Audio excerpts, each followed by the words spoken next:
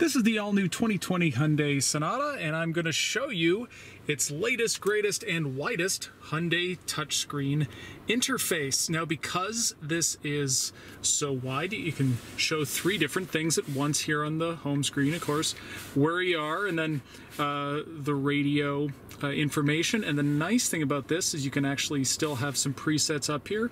And then in this case, it's showing some information about what the weather is like here in Oregon. It's not good. Also, it shows it right there in the gauges. It, there's showers. Neat. Okay, so there are other home menus. You go slide to the right and there's all of your different functions. And then a couple more there. Now this does, of course, have Apple CarPlay. There you go. And the nice thing is because this is a widescreen, you still have elements over here on the right and you can go through them. There you go, there's your radio information. So say you're playing uh, the radio and then you're using this for, uh, let's say, Google Maps. Uh, there's your driving distance, there's the time, uh, there's your compass and latitude and longitude if you need to order a missile strike on yourself. There's the weather again, there's information from the climate control, although that's redundant because it's all handled by good old-fashioned buttons down here. Always good. Back there. Also, you have some uh, touch-activated uh, buttons, menu buttons on the side, which is nice.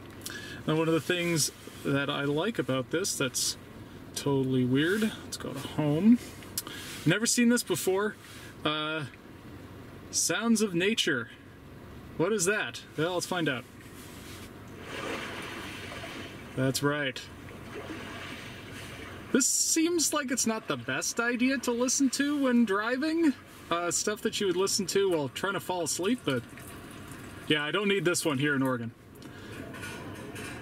Open air cafe. See, this could be nicely therapeutic uh, in uh, times of social distancing, you know. Uh, okay, let's see. Warm fireplace. Ooh. Although maybe make you think that the car is on fire. Uh, Snowy Village.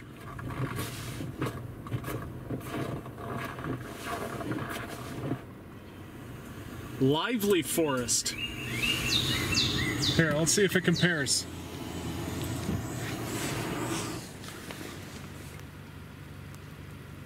See, this is not a lively forest. Uh, otherwise, in terms of infotainment features, this car does have wireless smartphone charging. There are two USB ports, one for the media, one and one that actually charges.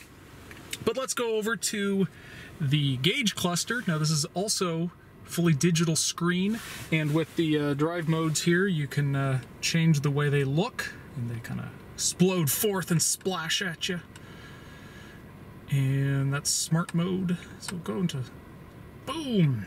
Now you can also change the way the layout is right here.